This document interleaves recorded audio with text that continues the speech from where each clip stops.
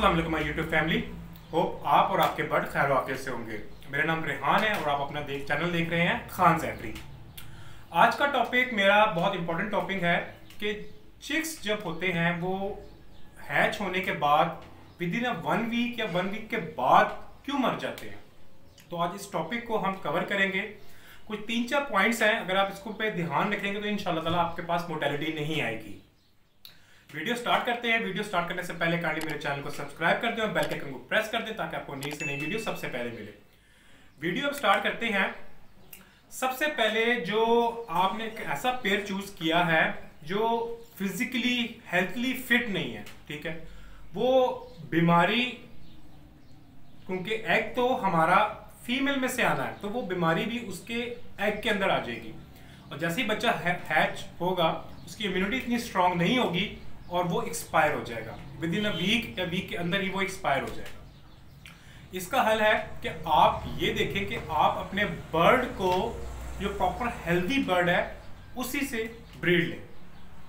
और प्रोबोटिक का इस्तेमाल लाजमी करें ताकि ड्यूरिंग ब्रीडिंग सीज़न ताकि उसके में गुड बैक्टीरिया का लेवल बैड बैक्टीरिया से अच्छा हो, ताकि आपकी चिक्स में मोटेलिटी ना आए। सेकेंडली आप लोग जो फीमेल होती है, उस इनएक्सपीरियंस है, वो अपने बच्चों को फ़ीड नहीं करवा सकती। ठीक है? वो अपने बच्चों को सही तरह गरमाइश नहीं देती। आपने जल्दी ब्रीड ले ली है, ठीक है? जब आप जल्दी ब्रीड ले लेंगे तो ये प्रॉब्लम आप लाजमी फेस करेंगे। तो मैं आपको यही कहता हूँ कि जो ब्लैक आइज़ वाले, जो जावा हैं, उनको कम से कम एट मंथ्स और जो रेड आइज़ हैं, उनको वन ईयर आप कम से कम वन ईयर से के बाद उनसे ब्रीड लें। आपको इन ये प्रॉब्लम देखने नहीं आएगी। एक और प्रॉब्लम आपने उनके न्यूट्रिशंस का ख्याल नहीं किया।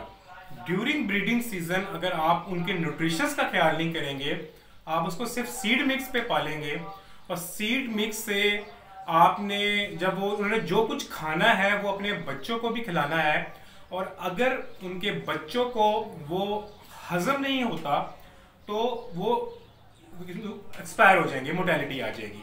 तो सॉफ्ट फ़ूड इसमें बहुत ज़रूरी है। मैं इंशाल्लाह सॉफ्ट फ़ूड की भी एक बहुत अच्छी वीडियो जिसको आप कह कह सकते हैं सुपर फ़ूड ठीक है? सुपर फ़ूड फॉर जावा वो भी मैं इंशाल्लाह वीडियो बनाऊँगा।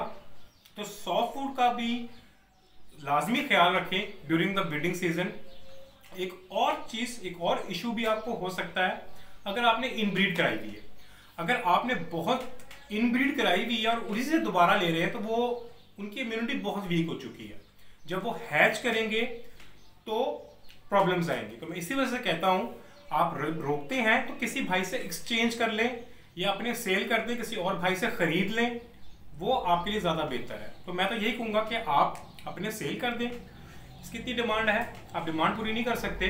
जब आपके वो सेल हो जाए ठीक है? तो आप किसी भी भाई से दूसरी ब्लड लाइन अच्छी ब्लड लाइन जिनकी है, उनसे आप बाय करके अपने एवरी में छोड़ दें। होपफुली अगर आप इन पॉइंट्स को अपने माइंड में रखेंगे तो इन आपके पास मोटेलिटी बहुत कम आएगी। होपफुली आपको ये वीडियो अच्छी लगी हो। अगर वीडियो अच्छी लगी हो तो काइंडली मेरे चैनल को सब्सक्राइब कर दें और बेलकन को प्रेस कर दें, ताकि आपको मेरी नई से नई वीडियो सबसे पहले मिले। मेरा फेसबुक का चैनल जावा स्पैरो वर्ल्ड ये भी मैंने स्क्रीनशॉट भी लगा दूँगा। आप काइंडली इस पर भी ज्वाइन करें। यहाँ पे बाइंग सेलिंग टिप्स हर चीज़ यहाँ पे अवेलेबल है जावा से रिलेटेड और आपको इसमें से बहुत इंफॉर्मेटिव वीडियोस भी मिलेंगी। और इस पर आप डिस्कशन भी कर सकते हैं।